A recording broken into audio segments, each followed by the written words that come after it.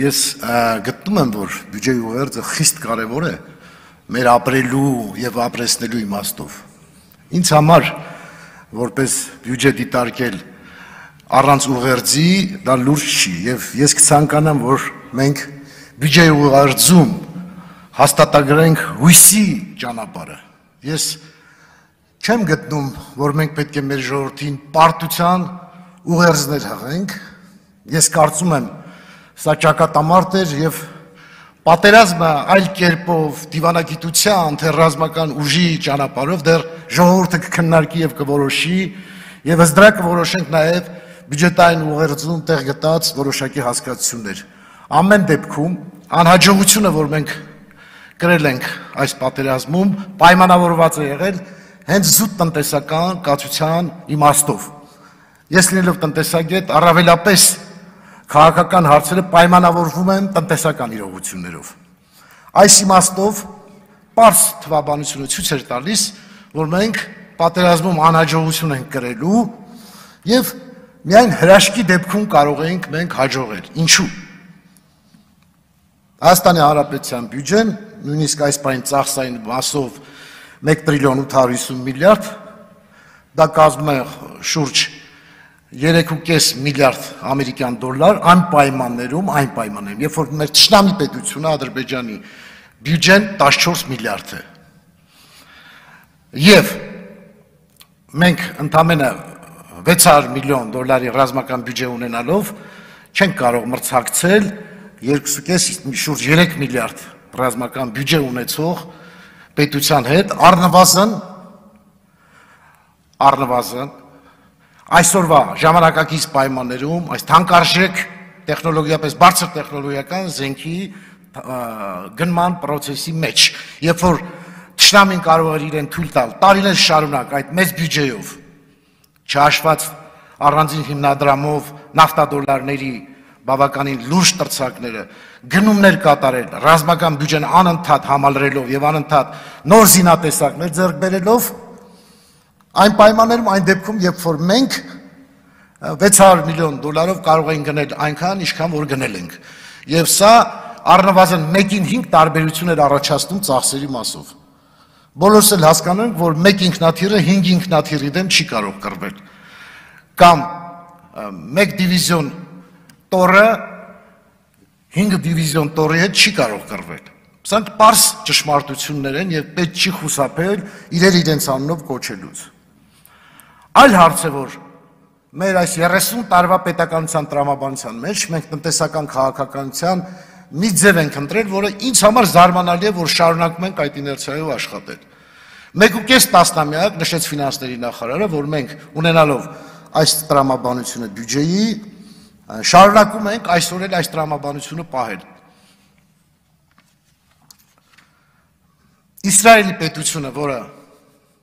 այս պայն 8 միլիարդ ներողություն. 8 միլիոն բնակիչ քաղաքացի ունի եւ 12.500 քառակուսի կիլոմետր տարածք ունի 2019 թվին 137.6 միլիարդ դոլար բյուջե 137 միլիարդ դոլար բյուջե մեր 3 միլիարդի դիմաց բյուջե բյուջե հնա չէ բյուջե նայեք ես ճշտած տվյալ եմ ձեզ ասում եւ որի մեջ 15.3%-ը ռազմական բյուջեն է։ Եվ Իսրայելը տարիներ շարունակ այս 15%-ը ստանալու համար 40%-ից է սկսել ռազմական ծախսել, երբ որ ինքը այլընտրանք չուներ բացի պատերազմից եւ իրենց բարձր տեխնոլոգիաները աշխատում էին միայն ռազմական նպատակով։ Այս իմաստով ինձ համար հասկանալի չի, որ օրինակ 2020 կամ 21 թվականի մեր բյուջեն մենք անում ենք իներցիայով։ Տարիներ շարունակ ինչպես ունեցել ենք օրինակ 20% թիվը մոտավոր եմ ասում, պահում ենք նույն 20%-ը, չգիտակցելով, որ պատերազմը չի ավարտվել։ Ինձ համար դա հասկանալի չի, որ գոնե այս պահին զուտ մեր այս ցաներ վիճակի ռազմական կորուստների վերականգնման նպատակով մենք լուրջ փոփոխության չեն գնում բյուջեում։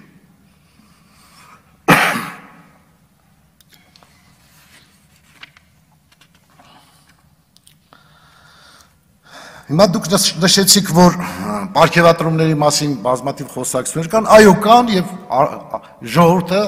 արդարացի հարց է տալիս։ Ինչու եք պարգևատրումներ համատարած բաժանում։ Արդյոք արդարացի է, որ կառավարությունը կամ ազգային ժողովի հավասար չափով պարգևատրվում են կառավարության բոլոր անդամները կամ ազգային ժողովի բոլոր падգամավորները։ Ոչ ոք չի ասում ինչի եք տալի, բոլորն ասում են հիմնավորեք, ոնց կարողա որ 132 падգամավորը նույն կերպ են աշխատում, կամ կառավարության ողջ կազմը նույն արդյունավետությամբ աշխատում։ Չկա նման բան։ Այսինքն մենք մերցնում ենք մոտիվացիան մարդկանց աշխատելու։ Եթե մի նախարար իր ոլորտում հրաշալի ցուցանիշ ցույց կտա, որի արդյունքում բյուջեում կարող ենք մոտավոր հաշվար կանել, որ այս նախարարության ճիշտ աշխատանքի արդյունքում ունեցանք հավելյալ 100 միլիոն դոլար, իհարկե այդ նախարարին պետք է ապարքեվատրել։ Իհարկե այդ թիմին էլ պետք է ապարքեվատրել, որը նախարարի հետ համատեղ մշակեց եւ հասավ հրաշալի արդյունքի։ Բայց բոլորին հավասար ապարքեվատրելը եւ հատկապես պատերազմի ժամանակ որևէ ապարքեվատրում, որևէ որևէ մակարդակում, թեկուզ տիմ մակարդակում դա խփում է ուղիղ պետականության հիմքերին։ Մենք շատ զգուշ պետք է լինենք, որ որևէ բան անտեղի, հանիրավի, անարդար չարվի։ Եվ նորից եմ ասում, իշխանությունները, ընդդիմությունները գնալու են պետականությունն է, որ մենք պիտի կարողանանք պահել։ Իսկ պետականության պահելու ամեն օրը մեր համար խիստ կարևոր է։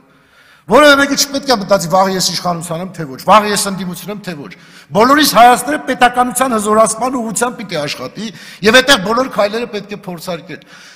Գնալ այս ճանապարհով, այս բյուջեի կազմավորման եւ այս տրամաբանությամբ սխալ կլինի, սխալ է, Տարածաշրջանային երկրներին մենք համեմատենք, եթե ես ասում եմ 14 միլիարդ է Ադրբեջանի բյուջեն, չի նշանակում, որ դա շատ է։ Մեկ շնչին ընկնողով շատ մոտ թվեր են Վրաստան, Հայաստան, Ադրբեջան, բայց մենք այլ խնդիր ունենք, մենք ավելի բարդ խնդիր ունենք կան Ադրբեջանը կամ Վրաստանը։ Եվ մենք դատապարտված ենք ստեղծագործելու եւ գտնելու ավելի մեծ բյուջե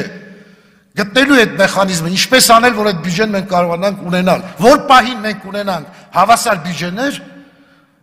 Հադրութը եւ Շուշին հետ կհանձնվի։ Առանց պատերազմի, ձեզ հավատացնում եմ։ Բայց ճշնամին դու կերպ են հաշվում ինչ որ մենք, նրանք ասում են դուք 3 միլիարդ բյուջե ունեք, մենք 3 միլիարդ ռազմական բյուջե ունենք։ Ինչի պիտի չհատի մեր հողերը հետ չտակ։ Ինչքան էլ մենք ասենք քաղաքակիրթ աշխարհ, ցավոք սրտի ուժի իրավունքը գործում է։ Հզոր պետությունը կարող է իրեն թույլ տալ նման ճոխություն ասեմ, շքեղություն ասեմ, որ կարող ես այս հսկայական տարածքը չբնակեցնել եւ կարողանալ ամրացնել, կարողանալ պահել այդպիսի տարածք։ Եվ մենք ոչ թե ամպագորգոր խոսքերով, ոչ թե ավելի բարձր գոռալով, ոչ թե ճորոմախոսությամբ, պորոտախոսությամբ, ազգային սնապարտությամբ պետք է այս խնդիրները լուծենք, այլ լուր ատամները սեղմած, բռունցքները սեղմած աշխատելով,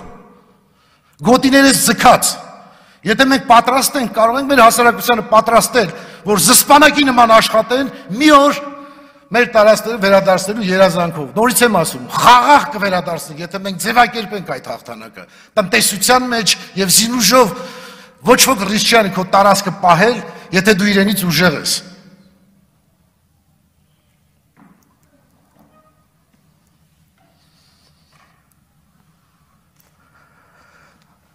կարծեմ թե շատ հարցեր մենք այո չենք կարողանում գերակայում արժեքը ճանաչել մենք չենք կարողանում կարևորագույն մի հարց մեզ տալ մենք ինչ աշխարհակաղակական դիրքում ենք ում ազդեցության գոտում ենք եւ տնտեսական ինչ մեխանիզմներ են պետք այս ազդեցության գոտում տնտեսություն զարգացնելու չկա մի բան որ մենք մեզանից հեռվացնենք եւ ասենք, գիտեք ինչ,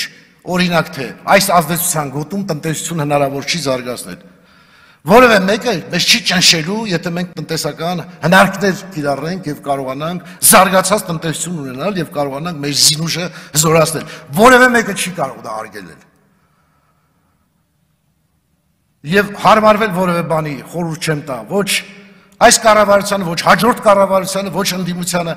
ինքնահանգստացմամբ Սիրելի հայրենակիցներ, մենք պետություն չենք զարգացնելու։ Ծանր աշխատանքով, ամեն օրյա եւ ոչ թե նախանձի չարության մտնոլորտում, այլ նպատակին նայելու մոտեցումով, պետականություն ունենալու մեր երազանք իրականացնելու տրամաբանությամբ։